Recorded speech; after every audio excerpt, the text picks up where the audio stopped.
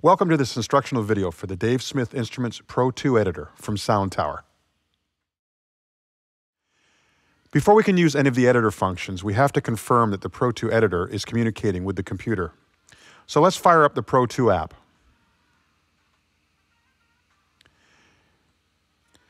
Here we can see that it's offline. There are two ways to connect the Pro 2, through a USB cable directly to the computer or through standard MIDI cables through a third-party MIDI interface. Let's look at the USB connection first. Before we can begin, however, we must confirm that the Pro 2 is set up correctly to send and receive information from the editor. On the Pro 2, push the Global button. The OLED screen will change to this display. The first parameter we need to confirm is MIDI channel. For now, let's use channel 1. Confirm that the Pro 2 is on channel 1, and then check the MIDI page on the editor to set MIDI channel 1 as well. Next, scroll down to MIDI parameters send. You can select off, CC, or NRPN. CC stands for continuous controller, and NRPN stands for non-registered parameter number. We need to select NRPN. This, along with the MIDI parameter receive set to NRPN, allows the editor to control all the parameters of the Pro 2. It also assures that any changes that we make to the controls on the front panel of the Pro 2 will be reflected in the editor window. We'll need to confirm that once we get the other settings set up on the Pro 2. So as mentioned, set the MIDI parameter receive to NRPN as well. Confirm that the MIDI control enable is set to on. Next, set MIDI SysEx to on. SysEx is short for system exclusive. This allows additional data to be exchanged between the Pro 2 and the editor. Set MIDI SysEx cable to USB. Set MIDI out select to USB. We also need to make sure that the pot mode is set to jump.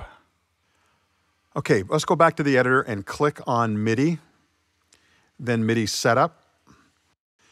And your screen may appear somewhat different depending on if you're on a Mac or a PC and what your exact MIDI setup is in your studio. Here we see the Pro 2 appearing as an available connection. First, let's confirm that the global MIDI channel is set to channel 1. If we click on the Pro 2 on the in-port side and Pro 2 on the out-port side, we see that the Pro 2 is now online. Once the Pro 2 is showing online, we can exit this window. To confirm the connection, we can adjust parameters on the Pro 2 and they will be reflected on the editor. And we can adjust a parameter on the editor and it will be received by the Pro 2. If the Pro 2 is part of a larger MIDI setup and we are connected through an interface with standard MIDI connections, the setup will be just slightly different.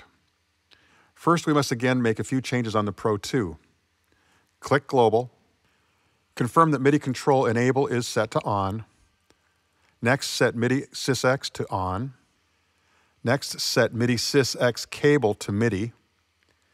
And set MIDI out select to MIDI. And again, back to the editor. Click MIDI. Click MIDI setup. To keep it simple for the demo, I have the Pro 2 connected through an old two-port Midiman interface. The Pro 2 is connected through the A, in, and out ports. If I select those two ports in this window, the Pro 2 will once again come back online and everything is ready for editing. Again, to confirm this connection, we can adjust some parameters on the Pro 2 and they will be reflected on the editor. And we can adjust a parameter on the editor and it will be received by the Pro 2. Through the balance of the Pro 2 tutorial videos, we'll be using the USB connection. So now you're ready to use the Soundtower Pro 2 editor. Please take some time to watch the rest of the series of Pro 2 editor tutorial videos from Soundtower.